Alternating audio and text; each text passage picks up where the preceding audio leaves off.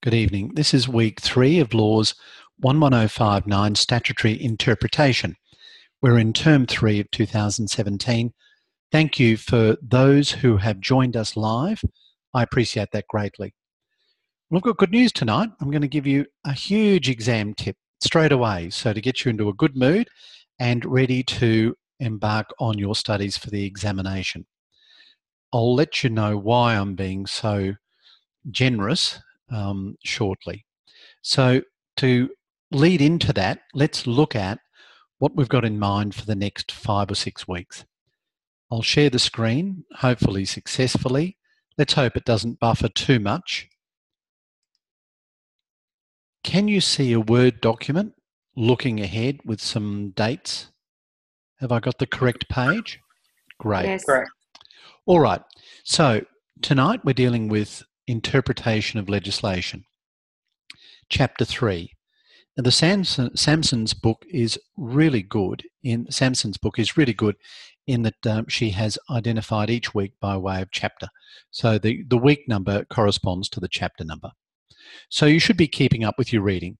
It's very easy textbook to read. I think it's really well thought out. Next week we have context and purpose, which is chapter four. Then we have a vacation week in the week commencing the 4th of December. Now, in week five, I'm going to record a lecture. I'm recording some lectures for Introduction to Law in relation to legal research. I propose to provide those with you as well. And the task is due on the Thursday. So I don't want to give you, um, I don't want to burden you with having to attend one of these sessions the night before that is due for the first task, and I think I mentioned that last week. So there'll be no live lecture on in week five. In week six, we're back to normal for intrinsic materials. Then we have Christmas, and then we have New Year. New Year's always a, a tough week for people, so I'm just going to do recorded lectures that week in week seven, and I'll put put that online as soon as I can.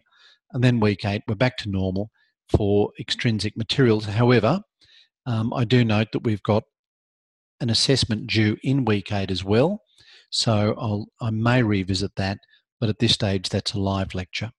So, are there any questions about what we've got coming up and the timetable? Is that all fine? Okay, so the exam hint. And what I'm looking to do, if you just bear with me a moment. All right. The exam hint is this. The exam is online.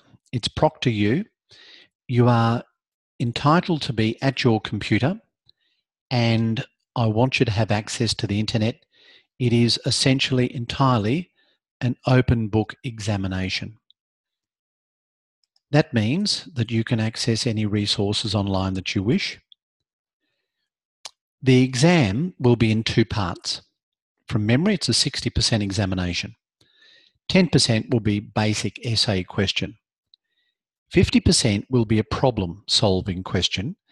And I'll give you an idea of what we've done in the past, certainly from my point of view, um, to give you some idea of what I mean by a problem solving question in the context of statutory interpretation. The legislate the problem is when I set an exam, I usually have the problem based on a make believe legislation. But in this occasion, so, but on this occasion, I'm going to make it based on actual legislation. You see, I've got an advantage in that we have a very significant change to existing legislation in relation to the Work Health and Safety Act 2011. The change this year through the Amendment Bill creates a brand new set of laws which is open to interpretation. So rather than you interpret something which is me creating some make believe legislation, we're going to work off the real thing for the examination. So in the exam, you know that the problem will be based on the Work Health and Safety Act of 2011. What that means is that when you're reading your material, I want you to do so in the context of thinking about that piece of legislation and think about the amendment bill which is now the Amendment Act of 2011. While you're doing that, you could refer specifically to the Queensland Legislation Handbook and you can think about some of the issues that might be relevant to statutory interpretation. I mean, for example, one of the questions that I might give you in the exam might be in relation to interpreting the word person. And I might say that it includes a corporate body. Justify that by reference to the legislation. So your job will be to look at the legislation, look at the Amendment Act, think about the transitional provisions, think about the explanatory note, the second reading speech, think about how that comes into effect by reference to the Queensland Legislation Handbook, and then think a little more broadly in terms of some of the extrinsic materials. I'll just share the screen again to show you some of those extrinsic materials if you've been trying to write this down, and I keep sharing and unsharing. So you might look at the prosecutor and prosecutorial guidelines, as well as the workplace health and safety explanatory note or notes. You'll see that originally I put note and then I added notes because there's a couple on this one. To be a little more specific, let's follow some links now while I've got them on the screen. Not sure where this will come up on my computer when I log into it. Of course, it's a different screen, but I'll move it across. So my recommendation is that when you're looking at the Work Health and Safety Act, you look at Queensland legislation website. You can look at AustLII as well, and I suspect that you'll probably look at a few sources. Has anyone had a good look at this website, which is the new version of Queensland legislation? Have you got a feel for the timelines, how to work your way around the material? Okay. So part of my role, my job here is to say, okay, let's take the theory and the reference to previous cases in this book, but now let's apply it to that specific legislation and use it as a template to your thinking. Now, there is another advantage here. Has anyone worked out the other advantage of using specific legislation for the examination? Well, the way I see it is that you have to prepare um, some method methodology for yourself for I think the second assessment. Is that correct? Has anyone looked at the second assessment? Sort of like the toolkit that we did in Introduction to Law. So by going through this process with this piece of legislation, it gives you a way of describing the methodology in a method that works for you. Let's share the screen again. So you need to become familiar with these point in time versions and that will be relevant, of course, because the law that applies to a certain circumstance will be the law as it was at that time. You'll, of course, need to consider the object clauses over here in section 3 you may need to consider subordinate legislation, have a look at the legislative history, and don't forget the importance of the Acts Interpretation Act. And you'll see here down the bottom that the authorisation for this Act, subordinate legislation, as made in the reprints, comes about as a result of the interplay of the Acts Interpretation Act and the Evidence Act. So that's just some idea of what we need to consider. Obviously, you'd be aware of the a requirement to look at bills and the explanatory note, which you'll find by reference to the bills. Okay, that's all I want to show you on that site. Um, while I'm at it, I'll just um,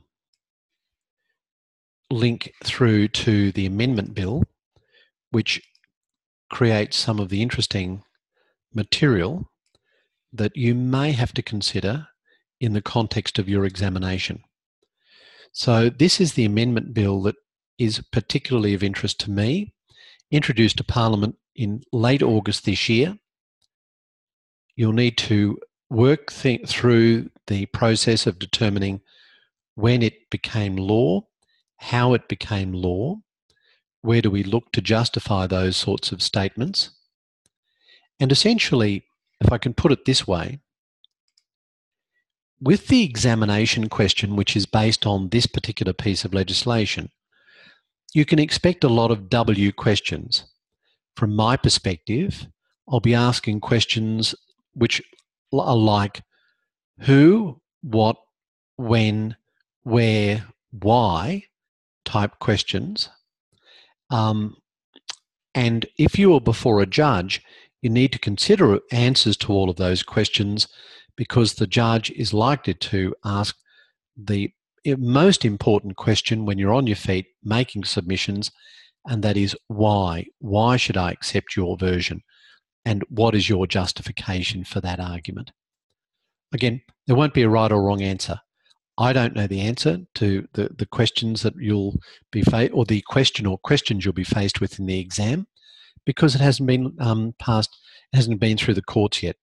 You might get lucky. There might be a reported decision before the exam. That might make it very easy. Um, however, at this stage, there's there's just not the case law on it. So we're dealing with really cutting edge sort of work in this. So I hope that that's okay that I've made that disclosure to you. I want you to work through that process and make it as worthwhile as possible. Are there any questions about what I've said so far? Actually, there are a few things on the check chat facility. No.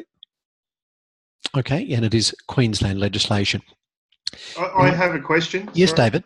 Yes, David. Uh, just it's not so much the content of the exam; it's more about the Proctor U exam that we're going to be doing.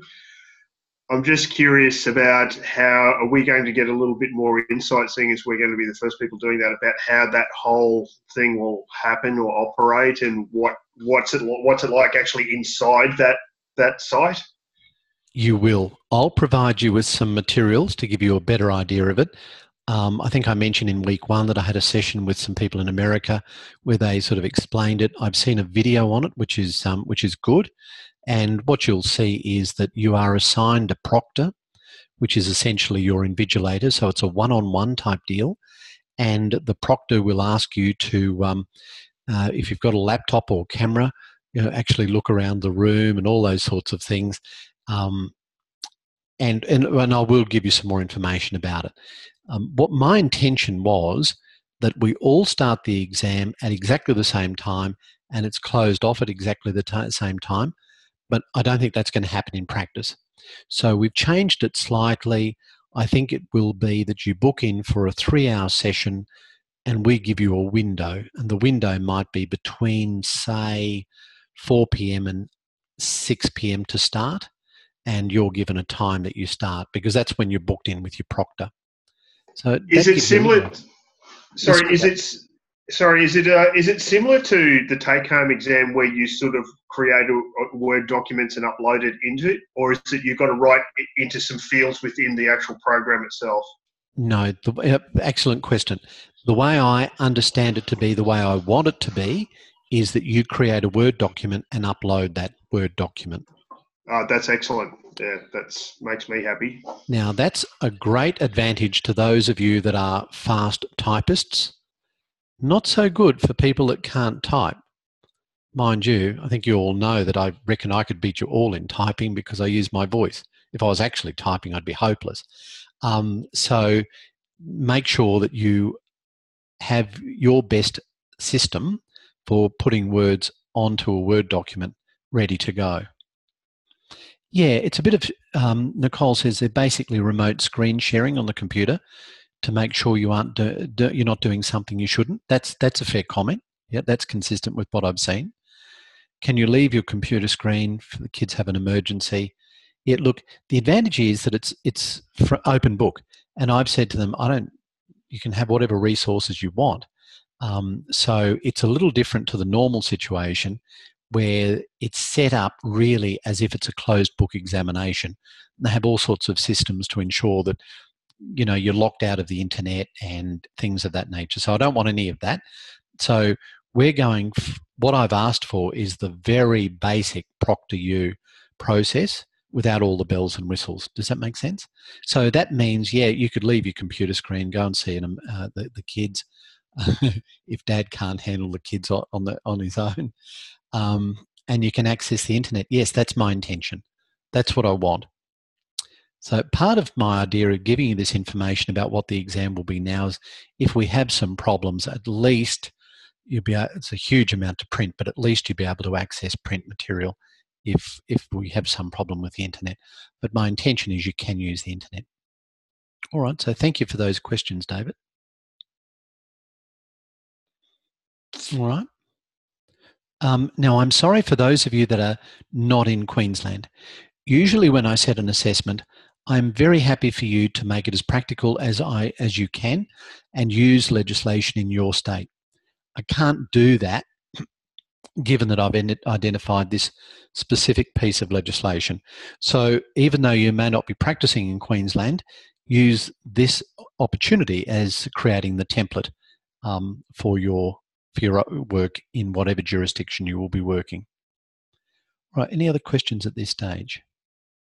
All good? Okay, so that's the exam hint for tonight. In terms of um, the assessments, I think you know the due dates, you know what's required of you. Um, I will just share the screen again just to show you a couple of other things. You're probably familiar with the Queensland Handbook, Legislation Handbook. If not, I would encourage you to do so. We'll see if we can follow a link to get that. The Queensland Legislation Handbook provides you with methodology as to how legislation and other things are created. So I'm just dragging it across into the screen now.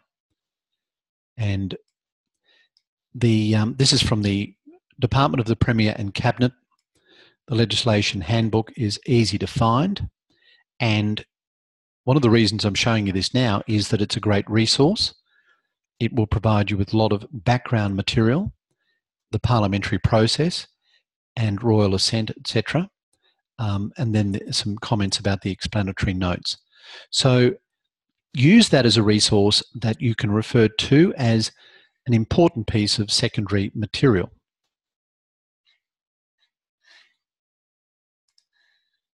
And of course, the explanatory notes, I'm sure that you all know how to access those. Um, what I haven't shown you is the prosecutorial guidelines. I'm going to leave you to work that out for yourself because part of the exercise in relation to this legislation is to work out who is the prosecutor and how is it prosecuted in practice. So there's some explanatory notes in relation to the uh, amendment which is relevant to um, the assessment. Okay, but you know how to find explanatory notes, so I don't need to go further than that.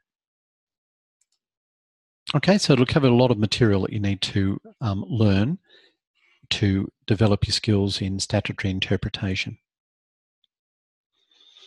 Now, we know that the Acts Interpretation Act is important. That's Commonwealth and its state. Commonwealth, Section 15AC, we talked about that last week in the context of the Commissioner of Taxation against Stone. Did we all have a look at that case? Did we get a feel for it? All right.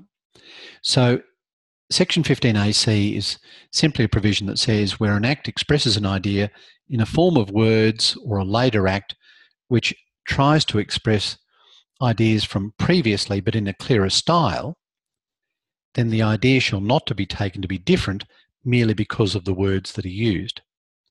Which is all very well if we're trying to simplify, but sometimes there is some confusion. So, Commissioner of Taxation and Stone, which is 2005, 222 CLR 289, involved a practical application of the problems associated with 15AC. That was where a police officer was competing professionally in javelin um, and uh, received additional income. Question is, was the officer running a business in professional sport?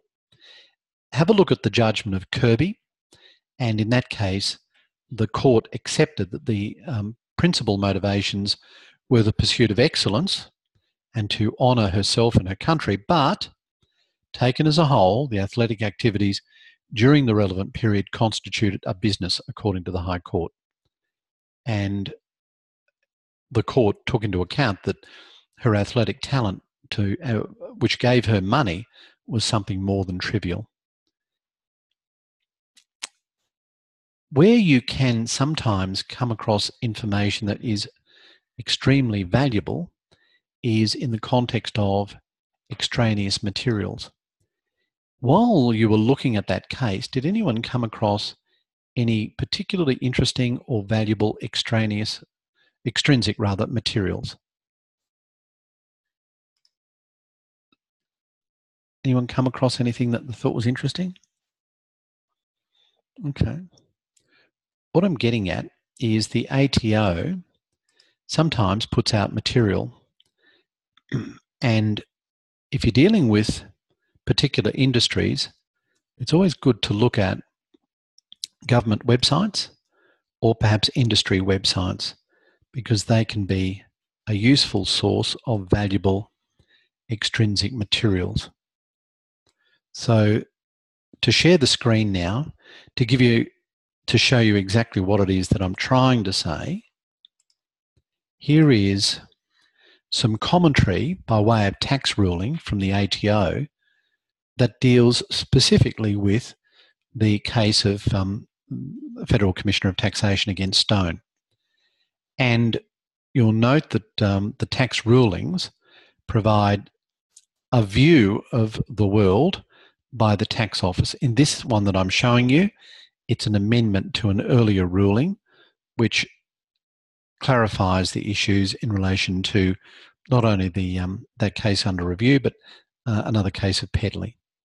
So the point that I'm making there is make sure that you look a little more broadly and consider some extrinsic materials that you think will carry some weight in an argument. And I think a taxation ruling by the ATO on a tax matter or interpretation of tax legislation will carry considerable weight. Okay, the next topic is drafting conventions. Legislation takes a pretty familiar form now, but it has changed. You've noticed that early legislation had a thing called preambles. We don't do that now. We have explanatory memoranda or explanatory notes. But Parliament will often include definition clauses, we know that, and they will often include amendments. So when there is an amendment by insertion of an act uh, or a section into an act, I, I, guess you've all picked up now that we don't renumber the act. We keep the numbers the same, but we'll add in like um, section 10 cap A. If you look at the federal legislation, Commonwealth legislation, it drives you crazy because there are so many additions into the legislation for the sake of keeping the original numbering that it actually becomes, I think, counterproductive in some ways. So, explanatory memorandum or memoranda in the Commonwealth field has not always existed. It used to be preambles. The explanatory memorandum now accompanies every government bill into Parliament. That's standard practice, but it hasn't always been the case. So, up until about 1990, 1982, there was no easy way of finding if an explanatory memorandum had been produced for a bill. It wasn't, it may have been produced, but it's not readily available in the manner that we used to when we look at the uh, Federal Register of Legislation, which is called the Legislation Register. So, what I want to do is show you an online resource which is called the Index to Explanatory Memoranda, and it's produced by the Commonwealth Parliamentary Library and there it is. So the intention is this document, this web page, gives you a, a way of tracking down. Okay, I'm not sharing, am I? And it even works straight away this time. Now you can see it. Can you see the explanatory memoranda? Okay. Um, this is a method of allowing for you to research if a memorandum was in fact produced. Because if you're trying to look for an explanatory memoranda before 1982, you won't find it easily. So this is a way that you can track it down. So have a look at the Parliament of Australia website, which is aph.gov.au, and then go across to About Parliament, Parliamentary Debates, then to the Parliamentary Library until you can find your way to Explanatory Memoranda Index. There is an excellent overview of this material by Patrick O'Neill. And um, see if I can find that now, which is um, here. And this is also um, available through that same website. And it gives an excellent overview of how this works in practice. I'm not suggesting that you read all of this, but keep it up your sleeve because if you need to find some material about explanatory memoranda and you're frustrated saying, I can't find it on the Federal Register, this might be able to help. Now, that's in the Commonwealth sphere. When it comes to state, we talk about explanatory notes, not explanatory memoranda, in Queensland anyway. Does anyone know the name of the act that essentially allows for the preparation of the explanatory notes and the subordinate legislation.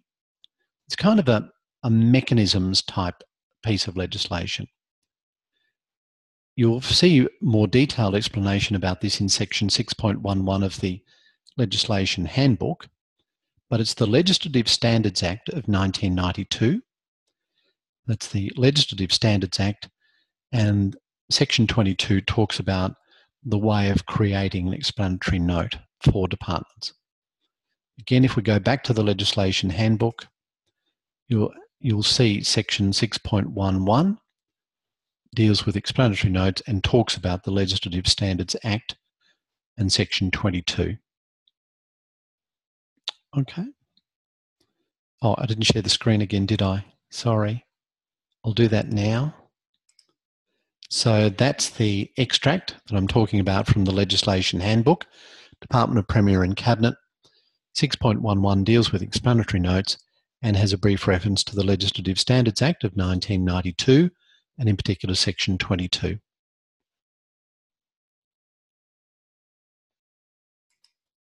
All right, now finding bills at the Commonwealth level, there are three ways to do it. Who can tell me how we would find a bill if we were looking for it in the Commonwealth level. Where do we go? I'll look at the chat facility or you can unmute your microphone. See who's first in. Three ways, three ways to get there. APH, um, yes. One way. What was that, sorry? Yes, Benjamin? Uh, one way is through the Parliament website. Yes, exactly. Very good. Through APH, and Sharon got that at the same time as well. Two others. Federal legislation, yes, through the Federal Register of Legislation. And where's the third way? We all know this, we use it all the time. If you're thinking of looking at an act and you want it nice and neat, quick, AustLII. Queensland legislations. I've well, you can do that, but, but yeah. not for the but not for Commonwealth stuff. So this sorry, is just common. Sorry, no, you're right. AustLII was the answer I was looking for. So you can look through the parliamentary websites. You can look through the Federal Register of Legislation. You can look at AustLII. All right, so that's for Commonwealth. If you're looking for Queensland bills, where do you find it? Queensland legislation site. Yeah, pretty much the same. I think um, parliamentary website is um, is is probably the way I would look. And we'll just call that up on the screen. You need all this for your second assessment piece, your toolkit, and develop a, a very clear system that works for you. So there's the Queensland Parliament website. That's how you can access bills. From that, you can access material in relation to um, Hansard and also the explanatory notes. All right, legislation for. Uh, can I ask a question, John? Sure. Um, I just wanted to ask a question. When I was looking at the for the federal stuff last week uh, in finding bills, I noticed it's really detailed, including it's got first speeches and uh, extra speeches as well. I'm just wondering, would we ever be using first speeches at any point in time, or No. would there ever be any necessity for that? In practice, a first speech typically is um, very mechanical. This is just introducing the bill. There's not a lot of explanation. Usually, it's the second or possibly the third speech where the action is. That's. Uh, I mean, I, I must confess, I don't look at first reading speeches. Perhaps I should. Maybe they've changed. Maybe there might there may be something in it. Um, if you're looking at the um, legislation that you know will be in the exam, I'd look at all of that, but just in case but practically no. David, to answer your question, if anyone has a different view on that, or you've had a different different experience, please let us know. Okay. Now, so obviously we need to know how to find legislation. We need to find how do we find the date of assent for Commonwealth legislation?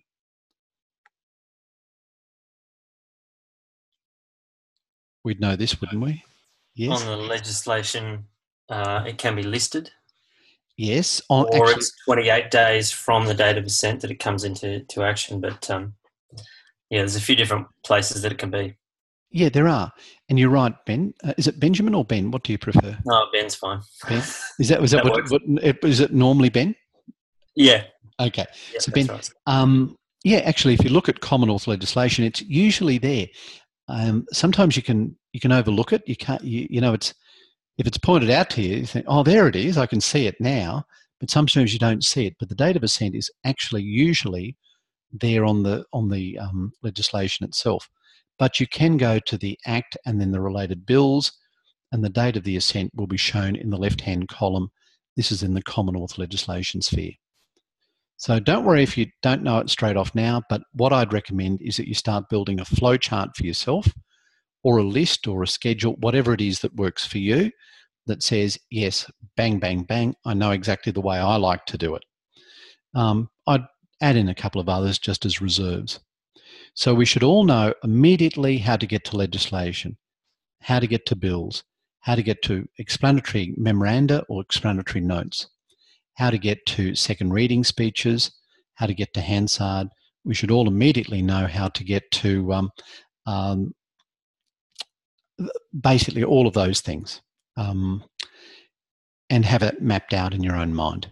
Okay, so second reading speeches, you can go two places, um, but essentially through Parliament. I'll just share the screen again.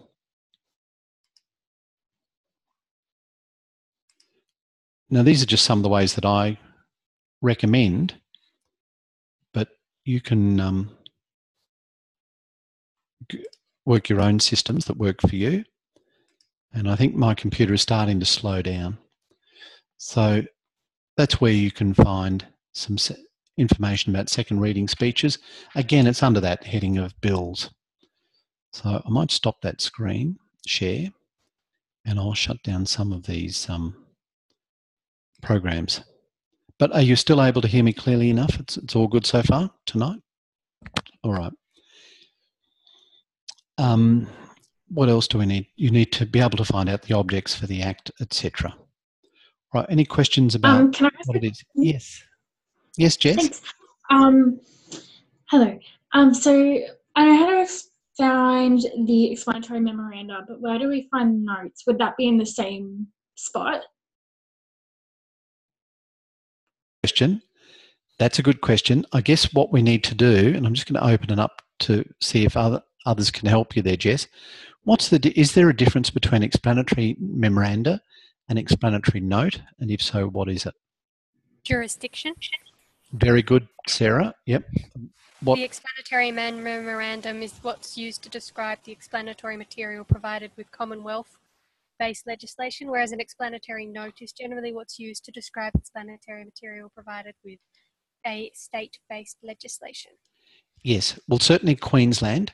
Sometimes um, it becomes a little bit messy It's an explanatory note in WA as well. so- as well. Yeah, I think Victoria might be explanatory memorandum. I'm not sure, but certainly Queensland, and thank you, Sarah, um, in Western Australia, it's an explanatory note.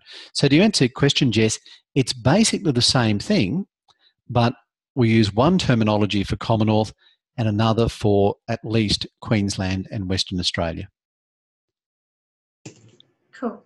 Great, thank you. But I'm glad you asked that question.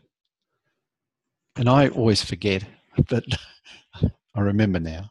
So, what's a good way of remembering? The memorandum relates to the Commonwealth, and the note relates to the state. M comes before N alphabetically, and C comes before S alphabetically. I don't know. That might work. You got a better one, Sarah? Speaking, you can well, you can use actually look up explanatory memorandum for a state-based legislation, and it will find you the explanatory explanatory note for it, um, because the system is smart enough to realise that that's what you want. You want the explanatory memorandum, so it's not as concerned about the final word for it. And that's a fair comment as well. Thank you. All right, so thank you for that, Jess. All right, so delegated legislation, can anyone tell me about that? What is it? How does it come into effect? What does it mean as far as statutory interpretation is concerned? Delegated legislation. Is it where legislation or the creation of it is is delegated out to other bodies such as uh, government departments? Yes, government departments is a great example. Thank you, Nicole. You came in with that answer at the same time. And where else? I mean, what other type of, if you like, government department, if you like, third council, councils? That's the other one. council bylaws would be an example. Exactly, yes. So that's all delegated legislation. Councils don't have any original jurisdiction to make laws, everything has to be delegated to it. So, delegated legislation, council bylaws, um, it's still law. Um, likewise, the legislative power is often conferred upon the executive. So, ministers, government officers, semi government bodies, local councils all have power conferred upon them to make laws, but that is delegated legislation.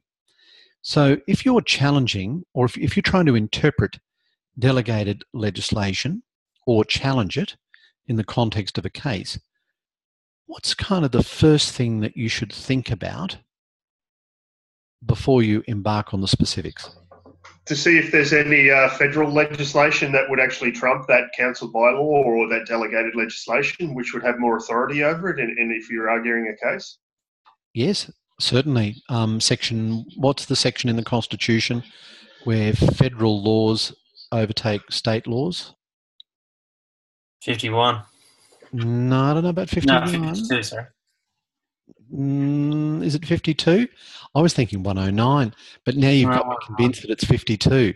So um, I'm going to go. You, you sound very convincing. Melissa came in with 52 at the same time that you did, Ben. so now I'm really. That's why. That's why I stopped myself when I was about to say 109. There's because- conferred and then there's implied, isn't there? So, yeah. Okay. yeah. There's stuff Alright. that's covered and then there's stuff that isn't necessarily covered. So please learn sections 52 and 109 of the Constitution. That's the Commonwealth better than I am displaying at the moment. But that's a good point, David. But even a little bit more basic than that.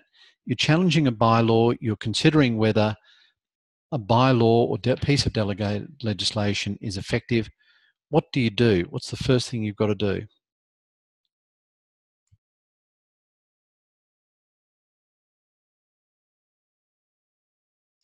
I guess you've really got to ask yourself has the body that created the delegated legislation done so in accordance with the delegation conferred upon it? Mm. I mean, for example, if a council is delegated authority to, to make bylaws in relation to, I don't know, dangerous dogs, and then suddenly it creates a bylaw that deals with dangerous chickens, if you're acting for someone who is prosecuted pursuant to that bylaw, you'd want to check that the council actually had the power to make the law which is being used to prosecute your client, wouldn't you? Ben, do you have any thoughts on that? Yeah, I was just going to ask would that be a question of jurisdiction or validity? It's it's jurisdiction and Or validity. possibly both. Yep, it's both. But certainly validity is probably the word that comes to my mind a little more readily. So the point that I'm trying to make there is don't assume that because a council, for example, creates a bylaw, then it must have known what it was doing and it can't be challenged. It can be challenged and it should be challenged. You should certainly look at it as part of your procedure.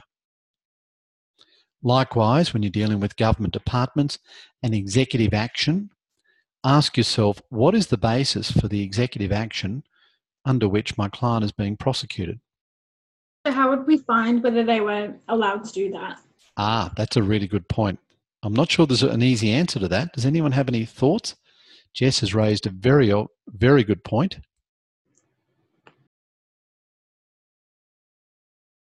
Where do you think you'd look? I guess you'd have to follow the legislation back to the origin legislation, wouldn't you? Exactly, but how would you find out what is the origin for the legislation? So let's take this example, and I've just made it up. You know, your client has been prosecuted for having a dangerous chicken, and you say, well, that doesn't sound right. Councils don't have power to make laws in relation or bylaws in relation to dangerous chickens. Where would you where would be the first place that you'd look to see if that's the case to answer Jess's question?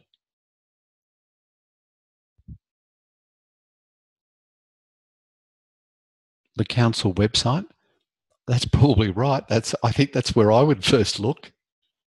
And what would you be looking for in the council website? I know what I'd be looking for. The actual bylaw, exactly. All right, so we're looking for the actual bylaw. Manoj would like look at the animal. Yep. Pets to you know, to look at it. But let's we'd we'd look at the actual bylaw, and I'd be looking at the actual bylaw to say, does this bylaw state its authority within the document? So it's probably intrinsic. You'd probably look at the actual document, and it should, if properly drafted, say the authority for making this bylaw is the delegated authority or um, uh, power conferred upon the council by section 27A of the Local Government Act, Queensland. Then you can go and have a look at 20 Section A. So the answer to the question for Jess is probably in the document itself, in the bylaw itself. If not, you can always ask for particulars from the prosecutor, and that would be an opening question. What is the authority for the council to make this bylaw? Let the prosecutor do some work for you. Mind you, you might be the prosecutor, you might be the prosecuting authority, so you might have to go and, and check that out. But if you if you really couldn't see anything in the bylaw, I would then start to look at the Local Government uh, Act and I think websites as well. So Michael says delegated powers, yes. Um, Melissa says look at the definitions. So I think all those answers are right. So Jess, there's no one answer that we've given you, but I hope it's given you some hints. Does that answer your question well enough? Right, that's good. Okay, so what's the difference between an act and a statute?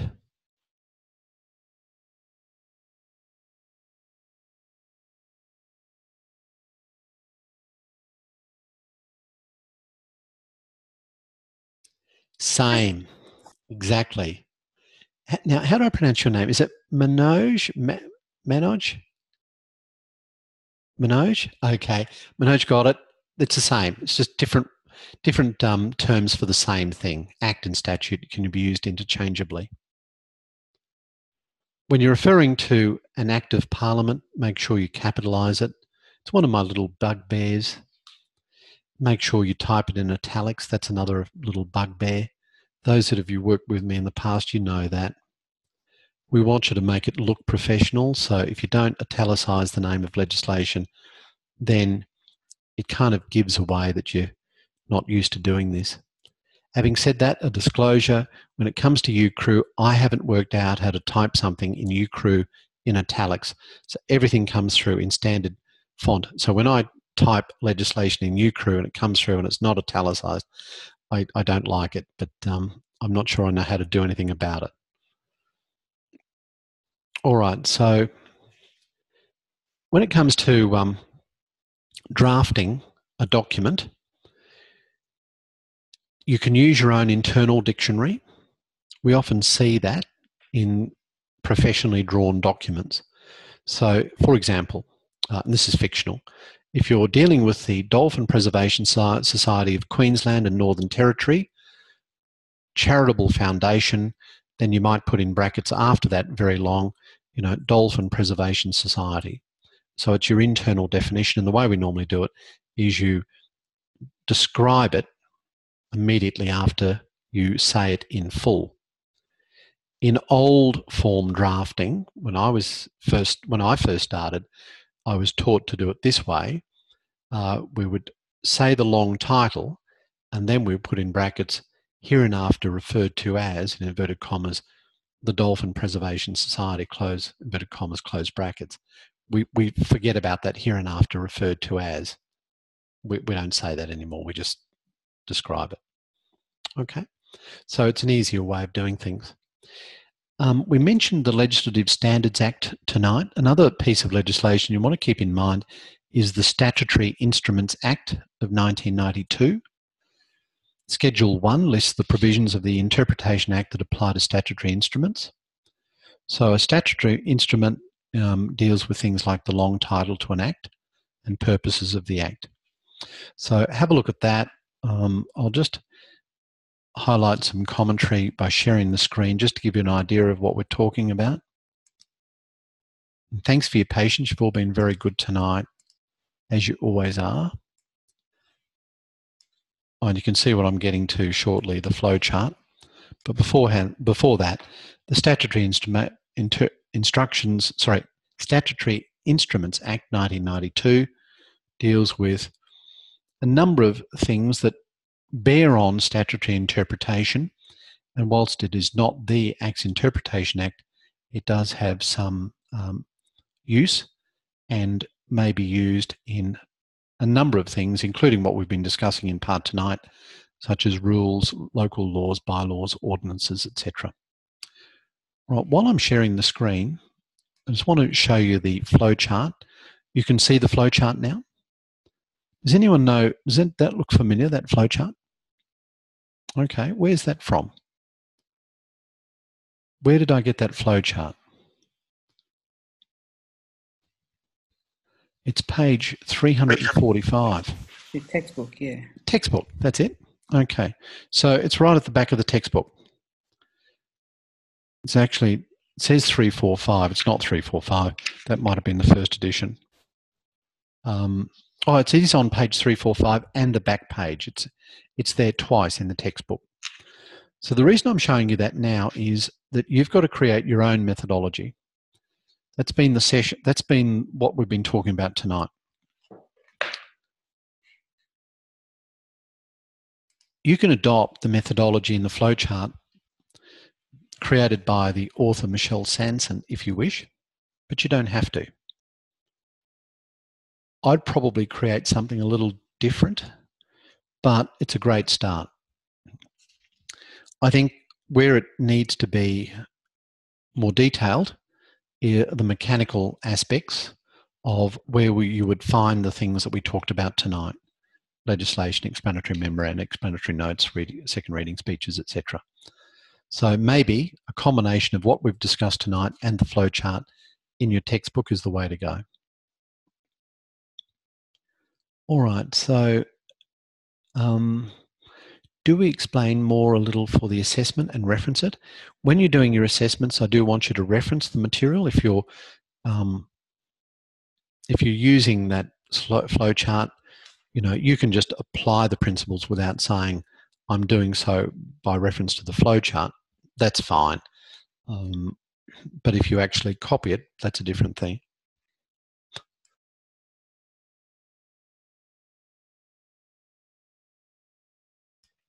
Sorry, my voice is going.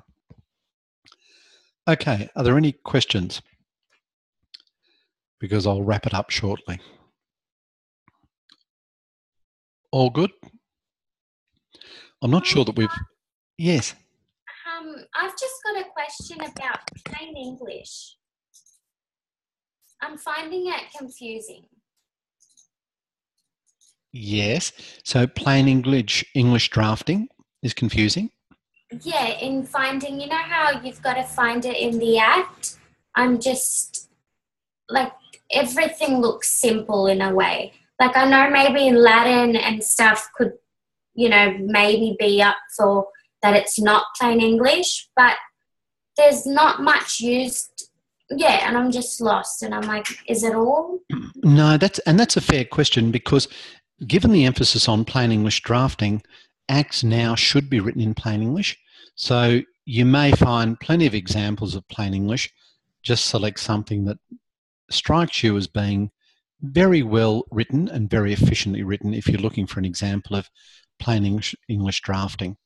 Okay, because even like because maybe one's amended at 2017, but the original one's like 1980 or something. So do we look at? Could we compare the two? Would you say?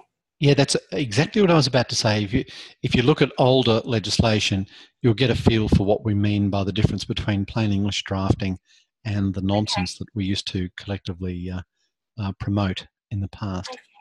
All right, I didn't think of that, and then when I said it, I was like, "Oh, no, that's good." No, great question. Thank, Thank you, Amelia. All right. Can I ask uh, a quick question? Yes, David. Um, we're talking about plain English, and um, I just know also from other areas that just the whole idea of archaic language, like leaving the the, the, the system of law. When exactly did that happen, and kind of how much of a dramatic shift and how sudden was it? Was it just suddenly was there, and then there was a whole movement, and it was gone sort of within a matter of a days, or how did that come about, and how quick was it? I, I can answer that with some authority because I've lived through it. When I first started to study in the late 70s and I started to practice in the early 80s, we were not using plain English. Nobody even talked about plain English. Then it kind of just hit. It came through, I think, academic circles and it filtered through pretty quickly. So it wasn't long that we were all working towards a redrafting technique that was very simple. And uh, I would say late 80s and through the 90s was the initial impetus for plain English drafting, and it's just continued from and become refined since then. Was there any sort of incidents that triggered that off for the, the movement to start in academic circles and then filter through to a practical level, or not really? That part I that part I can't say. Um, it just arrived, um, and I and I don't know if there was a specific trigger for it. There probably was, but I'm not familiar with that but I know the terminology. I know when it occurred. John, when they talk about um, redrafting it into simple plain English, and they're saying that the new drafting doesn't change the old meaning. Now, so we come through, we're only going to learn the new meaning. So eventually it is going to change the meaning because we're not going to go and learn the new plain meaning, then go back and look at the old one and confer, are we? Like 50 years' time, well, unless you have a situation like the Commissioner of Taxation and Stone, yeah. where there's some reason that you might have to look back. But yeah, you're right. Um, planning drafting will certainly become the norm. And um, I guess if you look at even the legislation that we, we had in the 70s compared to the old English legislation uh, writing style, that seemed very archaic at the time. And even now, material written in the 70s seems archaic. So, yes, I guess it, it will just be a matter of um, developing on from there. Hope that answers your question, Michael. Yes. Thank you. Um, and remember for the assessment, if you want to use legislation from your state, then you can do so. Um, it doesn't have to be Queensland. The only real requirement for Queensland legislation will be the exam, as we discussed earlier tonight. All right. Any other questions, comments? All uh, yes. yes, Jess. I have one question. Um, I'm trying to find the second reading speeches. Um, I'm on the Parliament of Australia website, and I've got a page open that says second reading speeches, but like there's nothing there. Like you can't search for anything. Okay. It may be an older piece of legislation, or is it current legislation? No, I'm just in a page that says like all second reading speeches. Oh, okay. Yeah, I'm not sure I can answer that one too readily. That might be a U crew question. Would Okay. you mind? And you can even give us a link, and we'll all have a look at it. and We'll try and give you some some help with that. How does that sound? I found you have to go into a particular piece of legislation and have a look at it individually to sometimes find it that way. I remember encountering something similar myself when I was looking last week. Okay. Thank you. Thanks, David. Good question, Jess, and thank you, David. All right. Okay, so again, any state or jurisdiction that you would like to use is fine by me for the assessment piece. Okay, all good. Thank you very much for your patience. We'll end the meeting now. We will see you next week. Make sure you start working on your flowchart and definitely read the legislation for the examination and start using that as the week by week material. Okay. Uh, John, Yes, sorry. Yes, Sarah. just just um, just as a thing, will you post the name of the legislation in UCrew? That way I we will. won't that we won't accidentally type the wrong one. Yes, I will. Now I'll Right. I'll d- disclose that formally. right, thank you. All right. All the best. We'll see you next week. Bye then.